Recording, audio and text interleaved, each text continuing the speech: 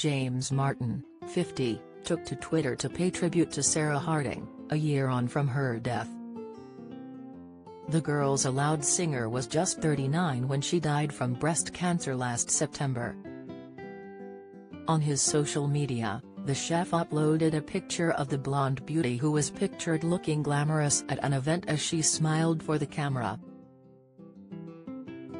In view of his 721,000 followers, he commented, Tonight I raised a glass to a lost friend an amazing person and soulmate and a superstar.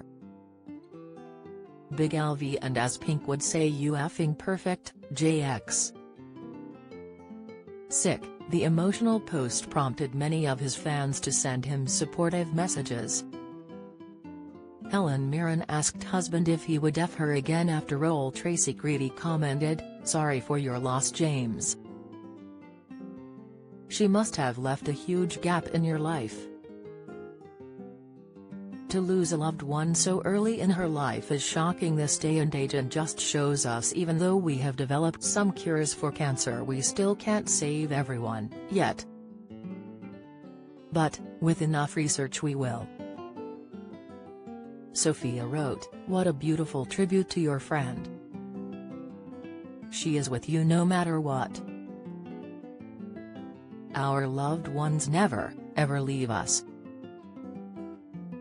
They only leave us in the physical form. Annabella Sharkey added, such a beautiful tribute to your friend, she was beautiful inside and out, and she will always be with you X. Last year, the chef shared an emotional message about their memories together after learning of her death. He wrote at the time, Thank you for brightening my life.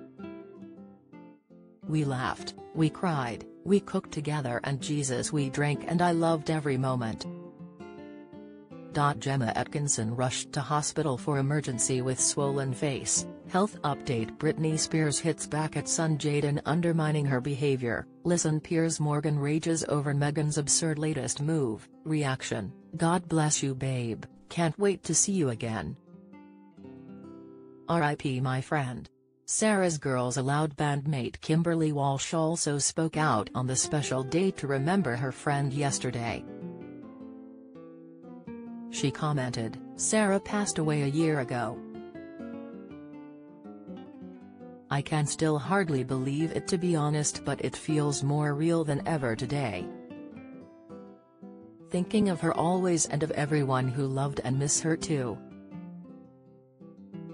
Last month, she and bandmates Cheryl, Nadine Coyle and Nicola Roberts took part in Race for Life for Sarah.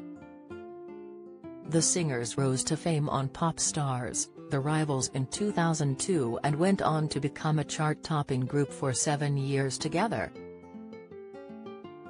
Sarah made her breast cancer diagnosis public in August 2020 in an emotional Instagram post where she posed from her hospital bed. At that point, it had spread to other parts of her body.